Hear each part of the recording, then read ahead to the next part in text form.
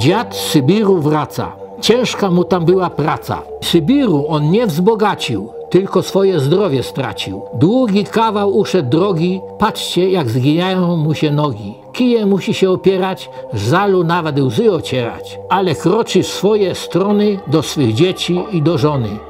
Bo i siostra, bracia, matka, mały wnuczek czeka dziadka, tam choć bardzo jest zmęczony, chce mu się dostać swoje strony. Bo w Polsce domek mały warty więcej niż Sybir cały.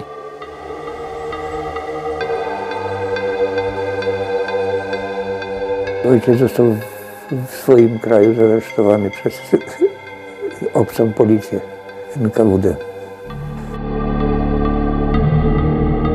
Kiedy wyszliśmy z pagórka, zobaczyliśmy tysiące naszych chłopaków rozbrojonych. Siedziało już na łąkach.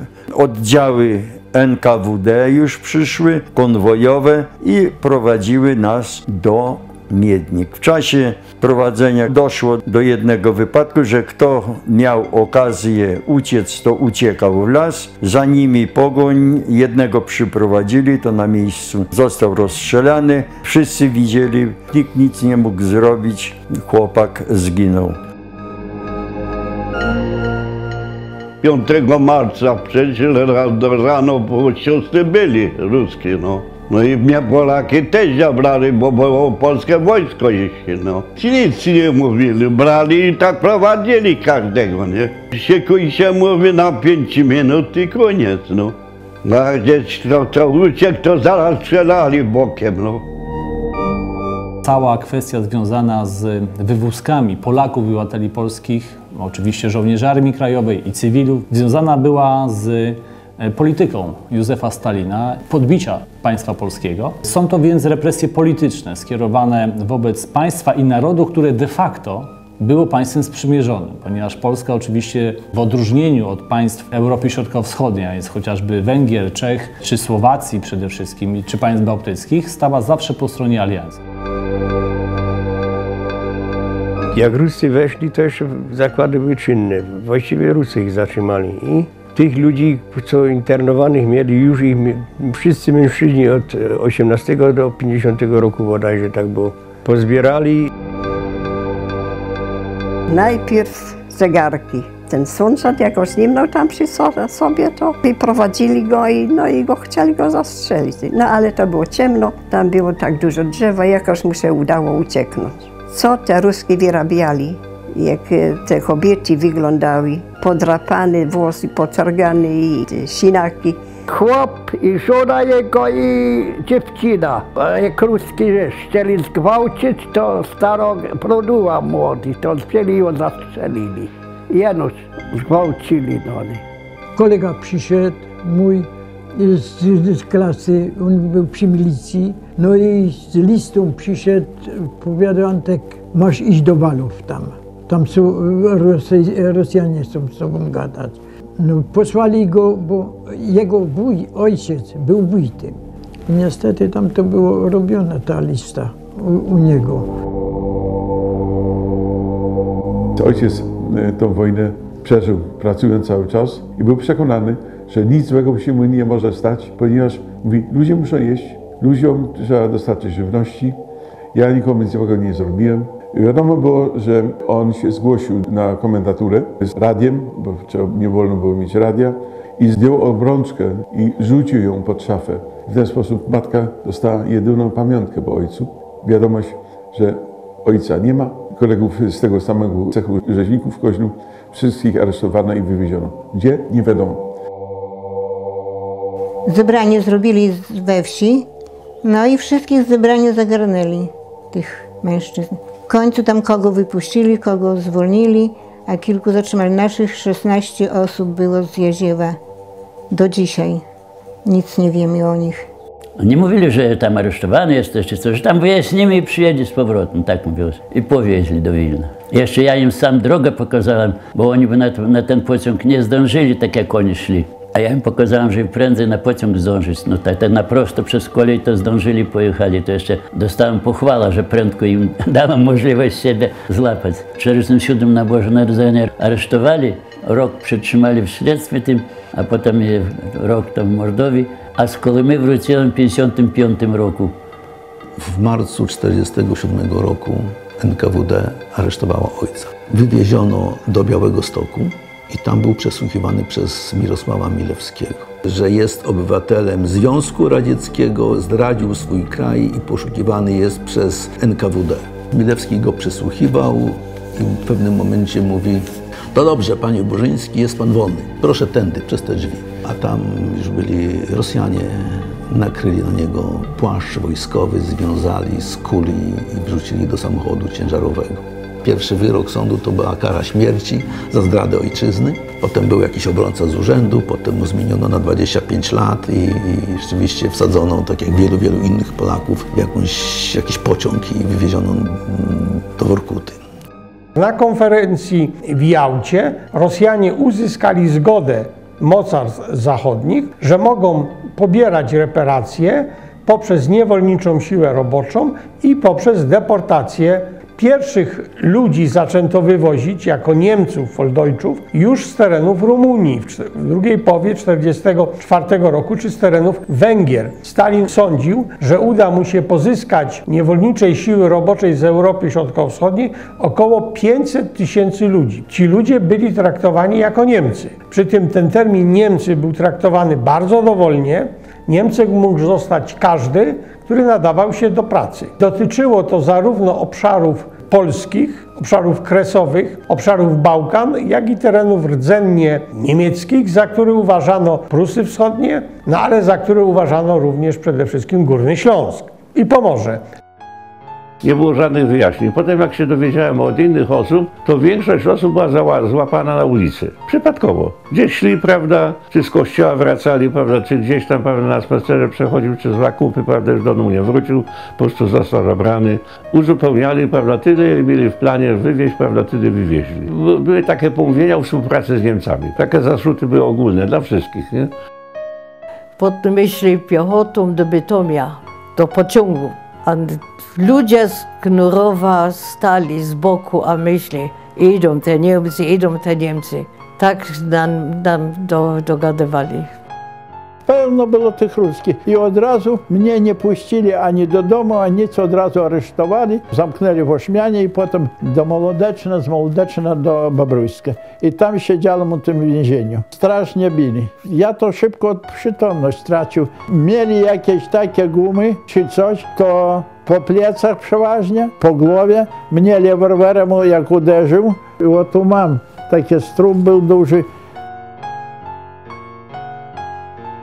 W czasie wojny rozbudowali Sowieci drugi system obozowy obok Gułagu pod nazwą Główny Zarząd Obozów dla Jeńców Wojennych i Internowanych i tutaj ta ludność trafia jako internowani. Rano o świcie z rzeczami kazano nam zejść na dół. Tam już stała cała kolumna z tysiąca chyba mężczyzn, a nas kobiet na końcu chyba dwadzieścia kilka, a za nami rozwścieczone, ujadające psy i przyprowadzono na dworzec. Pamiętam, to był początek wiosny, marzec 45 roku. Śnieg jeszcze zalegał na peronach i myśmy musieli klęczyć na tym śniegu. Podstawione zostały wagony towarowe, odrutowane i oficer NKWD wyczytywał nazwiskami Jedni leżeli, jedni musieli stać, bo to nie szło, żeby wszyscy nogi wyprostowali, tyle nas tam było w tym wagonie.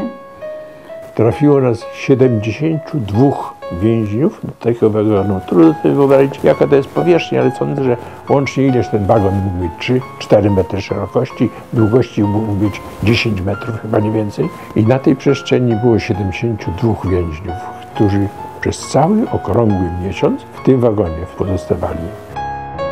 Na Kresach był jakby ten problem, że to była pierwsza część terytorium polskiego, które zetknęło się z Armią Czerwoną, to kresowianie mieli doświadczenie z Armią Sowiecką z 1939 roku. Z tak zwanego pierwszego Sowieta, w związku z tym można było się spodziewać, że niestety po raz kolejny NKWD przyjdzie i będzie aresztowało Polaków, a de facto Armia Sowiecka wkraczała na terytorium państwa polskiego, w granic przed 1939 roku. Najbardziej wzruszającej i najwspanialszej historii o nim. Dowiedzieliśmy się w czasie pogrzebu, jak jeden z partyzantów opowiedział, że tuż już przed wywiezieniem ich dalej do Kaługi miał szansę uciec, bo mu to chcieli umożliwić rosyjscy żołnierze, których leczył, bo lekarzem leczył wszystkich. Kiedyś pojechali po lekarstwa do Wilna, do apteki i strażnicy powiedzieli, doktor uciekaj, ale on tylko poprosił ich, żeby mógł zobaczyć żonę i wtedy świeżo urodzoną córkę i niestety zdecydował i powiedział o tym mamie, że nie może zostawić 7 tysięcy kolegów, żołnierzy i tylko pięciu lekarzy tam było. Wiadomo było przecież, gdzie będą i, i że będą chorować, więc no mama ze łzami w oczach oczywiście, ale to zaakceptowała. Posiłek to przeważnie tylko była woda, wiadro wody. Jak pociąg jechał spokojnie, to jako tako. Ale jak pociąg y, hamował szybko, to wiadro z wodą się przewróciło i po wodzie było. Drzwi wagonu były odchylone po to, żeby takie korytko, dwie zbite deski wprowadzone do tych drzwi i zawiązane kolczastym drutem, żeby, się żeby tego nikt nie otworzył. To koryto służyło na ubikację z obszaru Górnego Śląska rozpoczęły się wywózki ludności cywilnej. Z uwagi na tą skomplikowaną sytuację polityczną przedwojenną, z jednej strony na tej części, która znajdowała się w granicach II Rzeczpospolitej prowadzono aresztowania w ramach oczyszczania tyłów, czyli każdy, kto przeszkadzał Armii Czerwonej, kto mógł być zagrożeniem, mógł być aresztowany, a następnie zesłany do sowieckiego łagru. Natomiast e, na obszarach tego, który znajdował się przed wybuchem wojny w granicach III Rzeszy Górnego Śląska rozpoczęły się operacje internowania, czyli zatrzymywania każdego właściwie mężczyzny z tego terenu zdolnego do pracy. Ojciec został wysłany do Kremerowa, to jest w okolicach gór Autaj. Tam były takie pokłady węgla. Te chodniki były około pół, pół do metra. Także niektórzy wybierali ten węgiel klęcząco albo nawet musieli położyć, żeby wybrać ten węgiel. A widzę, do dzisiaj widzę ten tablicę, tak, tym, na desce to tam było wypisane, że to jest obóz dla zbrodniarzy hitlerowskich. No w lagrze, no to całej Europy ludzie, bo tu lagier w centrum Rosji, tam i Irańczycy byli, i z Anglii, i Włosi byli, i Niemcy, tylko Murzynów nie było jeszcze. Przeważnie to z tych krajów zachodnich tego, tak. Obóz wyglądał lagier tak jak Oświęcim, identycznie strefa ochronna, pierwsze zacieki, pole zabronowane, po śladach widzieć, czy ktoś nie. Drugie ogrodzenie, już prąd był, wieżyczki na rogach, NKWD siedziało i reflektory. To celowo zawołał tego tam więźnia, który takie palaczy, te, który palił, a on tam narzucono te pety, kurczę, tam z tej wieży kazał mu pozbierać, on tam wlazł kurczę w te zasieki i on go to zastrzelił, że on chciał uciec tego tam. Takie, takie coś były. To dwa wypadki były tego tam. Trzeba było ustawić w kolumnę po pięć osób. Pod, pod strażą nas oczywiście wyprowadzali. Takie przemówienie do nas było, zawsze odezwa taka. I ci strojem po pięciorkam, za stroja nie wychodzić.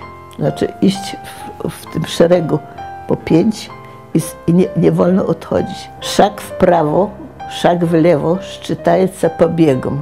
Krok w lewo czy w prawo będzie uważany za ucieczkę.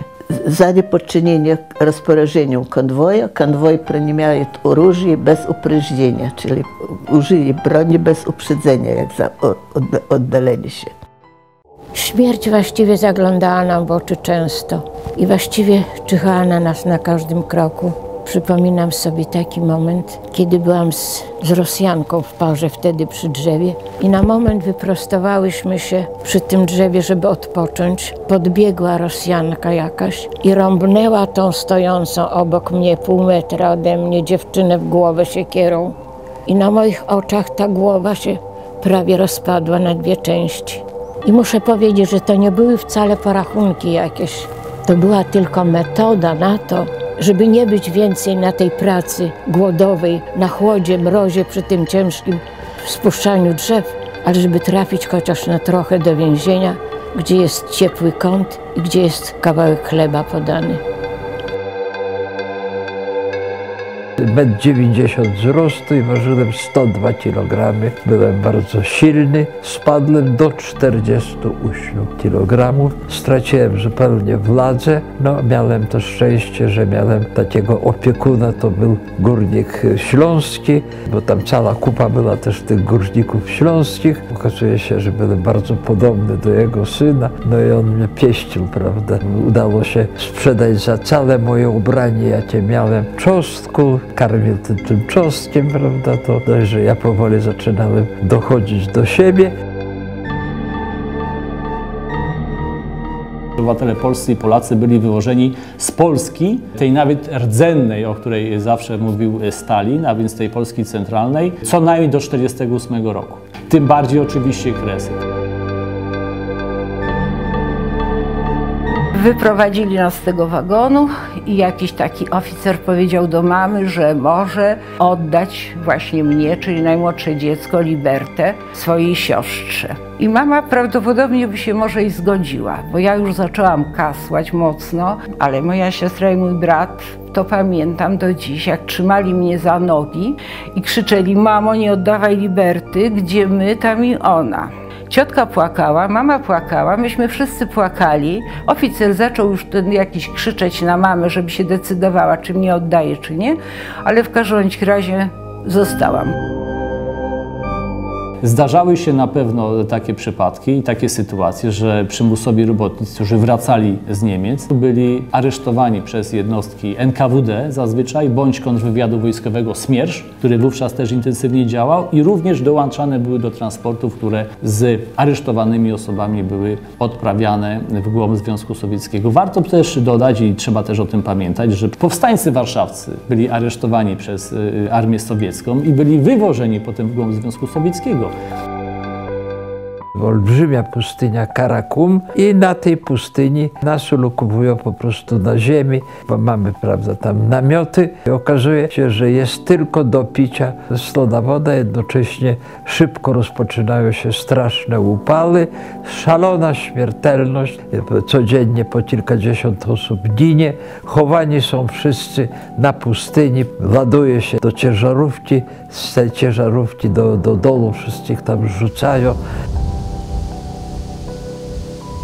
Taki pagórek, który myśmy zwali Golgotą, bo tam nasi jeszcze postawili trzy krzyże na tym. I tam po prostu ciało gołe wyrzucono do tego, bo to była instrukcja specjalna w łagrach. Musieli obnażyć zwłoki, żeby bez żadnej szmatki. Bo te wszystkie stroje zużyte już potem rozdawano pozostałym więźniom, jak ci zużyli własne. Patrzę przez okno Podeszła ciężarówka i zaczęli wynosić trupy. Naładowano całą ciężarówkę, teraz w oczach stoi. I z wierzchu jeszcze posadzili, rzucali żywych. Jeszcze oczy patrzą normalnie. I wywozili w step, wyrzucali, oni tam umierali, a potem kopali dół i zsuwali ich. I na tym koniec. Niestety nie jesteśmy w stanie stwierdzić dokładnie, ile tysięcy Polaków, obywateli polskich zostało wywiezionych po 1944 roku w głąb Związku Sowieckiego. Bazujemy tylko na danych szacunkowych. Liczby, które podajemy jako historycy, wahają się od 80 do 100 tysięcy obywateli polskich, natomiast myślę, że nie są to pełne dane. Wigilię Święta Bożego Narodzenia, tam trzeba czasem w kuchni ziemniaki obierali, tak, one były gotowane tylko te skóry tam skubali, takie parę sobie kieszeń schowali marchew i to w kieszeń tam pochowali, to my z tego zrobili sobie pokroili i torta zrobili i wtedy my tam wszyscy śpiewali, później my tym tortem się dzielili. Postanowiłyśmy sobie, że nie będziemy płakać że przyniesiemy ze stołówki tą łyżkę kaszy, którą dostawałyśmy w miseczce. To będzie nasza kutia, że zostawimy kawałeczek chleba, który dostawałyśmy rano, to będzie nasz opłatek. Zamiast ciastek my mieli sobie ze śmietnika nazbierane obierków od ziemniaków. Te obierki my sobie na blasie wysuszyli i one były bardzo smaczne. One były takie chrupiące. I my siedzieli na, na tej wigilii, to było nasze ciasteczka.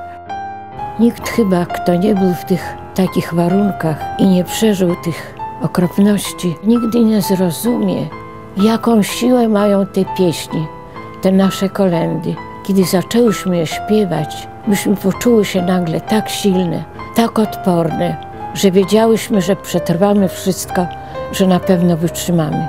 I nie płakałyśmy, bo tak sobie dałyśmy słowo.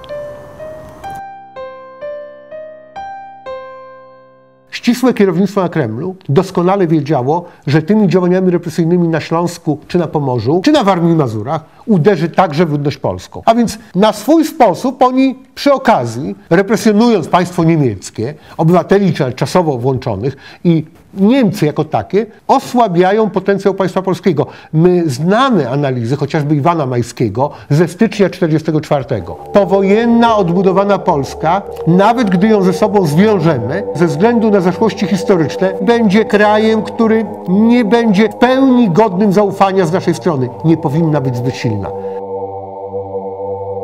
Byłem dwa miesiące trupowozem i pochowałem, czyli nie pochowałem, a wrzuciłem do dołu około 300 ludzi. Ja osobiście sam.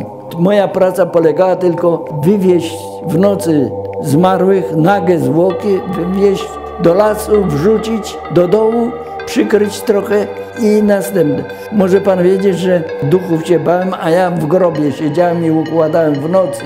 Tak się przyzwyczaiłem już do do zmarłych ludzi. Tak, miałem wrażenie, jakby to nie ludzie byli.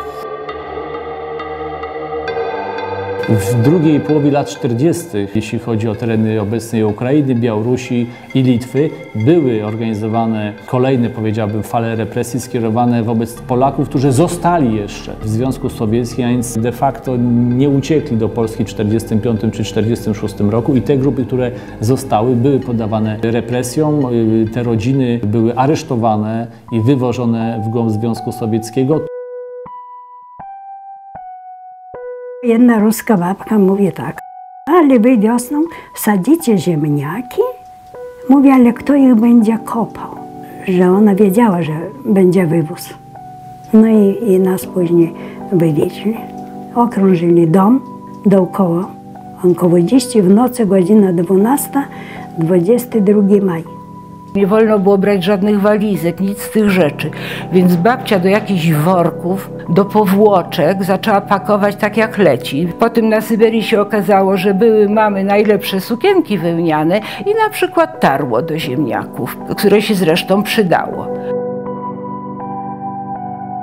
To było w 1947 roku. Zapaliliśmy znicze na Rosie przy sercu Piłsudskiego i matce i było masę aresztowań. Zresztą przychodziłyśmy do szkoły i nie wiadomo było, czy któreś z nas nie zniknie w tym dniu, albo chłopców nie zabiorą. Z ulicy nawet brali.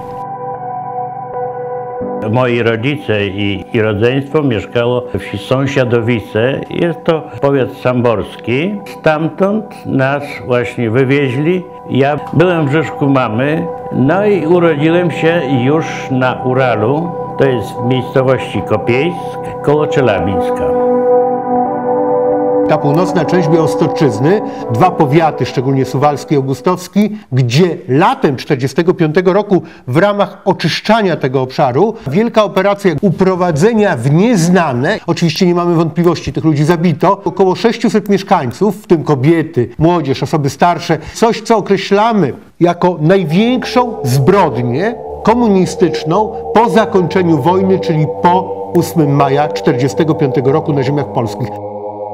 W 1945 roku, jak tutaj była obława, to my już na Rosji wiedzieli, radia byli toczki, nazywali takie, pamiętam tak jakby na nóżce taki talerz. Gawarit Moskwa, gawarit Moskwa, to już mówię. A raz uwaga, tak ciocia mówi, bratowo, coś tu mówi z Polski. W, wiele w augustowskich lasach bandytów połapali. Tak mamusia mówi, mnie tak jak mówi, jaki oblok na mnie mówi, tak, mówi, ręce odebrało, mówi, już klimka nie ma. Mama wysyłała Jurka za rzekę, tam gdzie przetrzymywali tych aresztowanych. Kawę nosił w butelce, taką spożywkę. Chleb ojciec zwrócił butelkę z korkiem i tam napisał, dosłownie ja to zapamiętałam tak, nie wiem co z nami będzie, będziesz musiała radzić sama. Matka wtedy chyba się załamała mocno. Pognali do Jastrzębnej, to gdzieś około 3 kilometrów. No i tam już byli te starsze NKWDzisty, no i tam badanie tam. Ojca wynieśli, leżał nieżywy, leli, tak zbili. Ślad zaginął. W kierunku mówili na Augustów, tu gdzieś wieźli, ale gdzie i dokąd, to nie wiadomo. Ciężko było się, zostało nas pięciu, matka. Trzeba było ciężko pracować, na kawałek chleba zarobić. To jest paradoks historii i powiedziałbym jeszcze dodatkowy tragizm losów Polaków i obywateli polskich, że znajdowali się w miejscach, w których znajdowali się ich najeźdźcy. Częstokroć jeszcze zdarzało się tak, że ci Niemcy, jeńcy, żołnierze Wehrmachtu byli z tych obozów zwalniani wcześniej niż Polacy. Ten obóz był bardzo prymitywny. Prawdopodobnie budowali go Niemcy i prawdopodobnie, że był to przygotowany dla tych Niemców, którzy na samym końcu poddawali się. Widzieliśmy, jak oni stopniowo przychodzili tam do tego obozu. Tam nas ogolono, tam była kąpiel, podłość, którą okazano, to to, że te wszystkie wokół nas, te golenia i tak dalej, robili Niemcy. Większość deportowanych wróci do stycznia 1946 roku. Oni spełnią rolę tak naprawdę swego rodzaju takiego rozsadnika strachu. Bo co oni mogli opowiadać? Jakie to państwo jest ogromne, o swoim okrutnym przeżyciu, że oni wojnę, no gdzie oni maj witali? Oni 8 maja to gdzieś już pochowali część znajomych, a sami witali gdzieś na robotach w kopalni, nie wiedząc w ogóle, czy kiedykolwiek wrócą do domu. My z Sybiru wrócili w 46 w kwietniu, to było przed Wielkanoc jakoś. To już przyjechali, to spalone było nasze mieszkanie. Nie, nie w wojnę spalili, tylko po wojnie. Żołnierz w, w kur, do kurnika strzelał we wróbli. I zapalił słomę i trzy gospodarzy spłonęło. Ruski jaki są sobie. Polak tego by nie zrobił.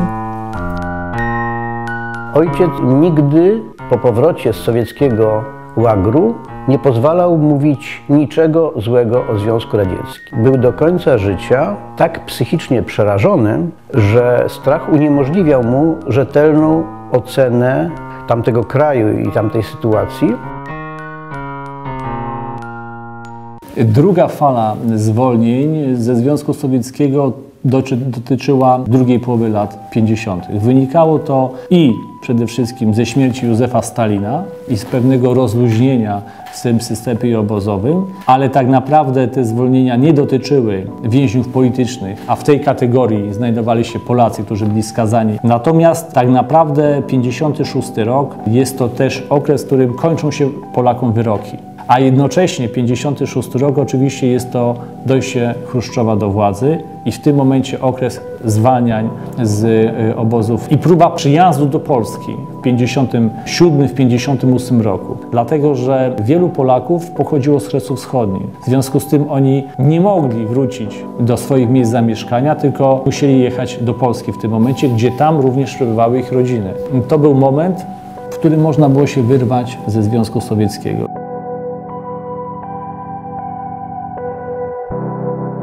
To była już taka uciecha, ale jeszcze niepewność była. Bo jeszcze w Terespolu, w tym punkcie repatriacyjnym, jakiś polityczny przyszedł i musiałem podpisać taki regres jakby diabłu, że nie będę nic mówić o Syberii. Jakby w ogóle Pan Bóg pozwolił zmartwychwstanie, to tam by cała ziemia podjęła się tej Syberii, w tej Warkucie i w ogóle w Kazachstanie i, i w Noryjskach i wszędzie, gdzie byli nasze więźniowie. Jak wywieźli nas, to dzieci się śmiały, że jestem polskim faszystą. A jak wróciłam w 1956 roku do Polski, to też dzieci się śmieli, że jestem Ruską. I w szkole wszystko, co miałam, czy zeszyt, czy ołówek, to wszystko było ruskie i to jest ta Ruska. Wpis do dokumentów zawsze ZSSR. Czyli jakby na to nie patrzeć, wszędzie wszyscy człowieka nazywali Rusek. A, bo ten Zabuga. Ja w późniejszych latach dopiero się zastanawiałem, z której strony ci ludzie są Zabuga. Najbardziej to mnie bolało to, że tam byłam Polką, a tu Rosjanką. To mnie bolało. Taka, zawsze się czułam taka bezwartościowa. Takie zero. Przecież tyle lat i ja tego nie potrafię zapomnieć, nie?